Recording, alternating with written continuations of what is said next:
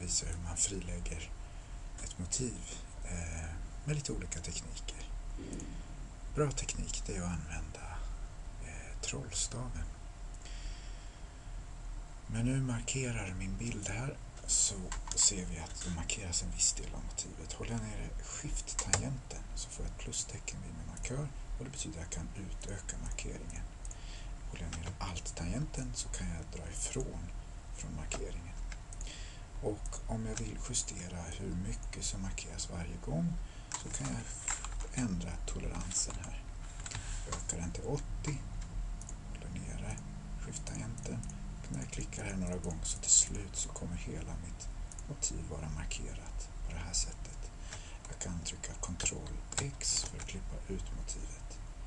Finns det ett enklare sätt om jag ser att det här motivet, bakgrunden är enfärgad, då räcker det med att jag klickar en gång där, håller ner i Shift, klickar en andra gång där och en tredje gång där. Nu när jag trycker Ctrl X så blir det att jag klipper ut bakgrunden. Det vill jag inte göra jag vill klippa ut blomman då som nu inte är markerad. Då vill jag invertera min markering.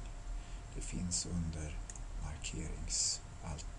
markeringsmenyn och där kan jag välja omvänd markering. Nu är blomman markerad. Jag trycker Ctrl X och har klippt ut blomman. I en ny bild kan jag då trycka Ctrl V för att klistra in blomman.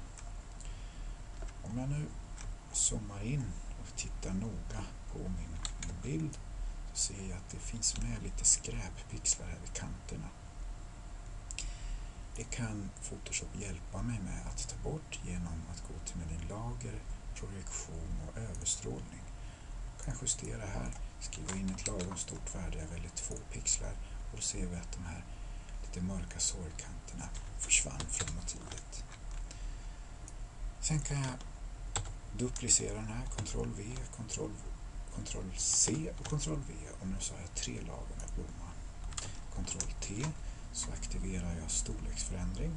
Jag kan hålla ner i Shift så storleksändrar jag med bibehållen proportionalitet. Håller jag inte ner Shift så kanske blomman ändrar då proportioner. Håller ner i skift så får jag hela tiden eh, de behåller de ursprungliga proportionerna på det här sättet vill jag nu att den här stora blomman, vi ser där har vi den, Ctrl T, går ner i skift och så får jag lite annan storlek på den.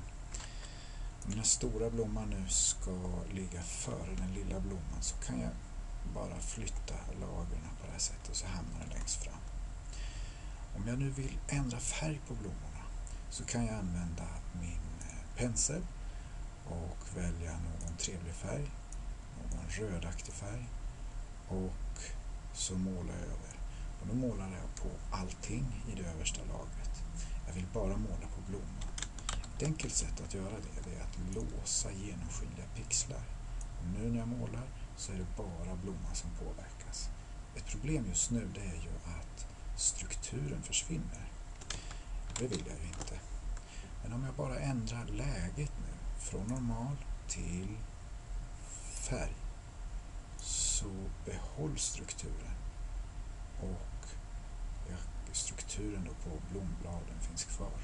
Och jag kan ändra färg på blomman på det här sättet. Vill jag ändra en annan blomma gör jag på samma sätt. Väljer någon färg som jag tycker fin och ser till att jag har läget färg här uppe och låser pixlar. För det gör man per lager och så målar jag runt på det här sättet.